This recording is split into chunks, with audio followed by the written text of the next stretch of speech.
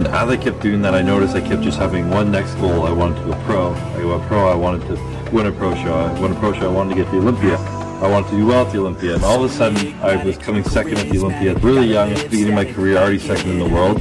And then it was that year, the first time to the Olympia, I got second, and I was like, holy shit, this is like, I could do this. And it is something I'm continuously grateful for, and I love my life every day. Moving crowds till I'm six feet napping They need another fix, hooked on like an addict I got my eyes on the prize and it's changing lives I wanna live till I die, make a difference right I wanna give those in need a reason to fight I wanna live every day like it's my last night I wanna change how we play the game.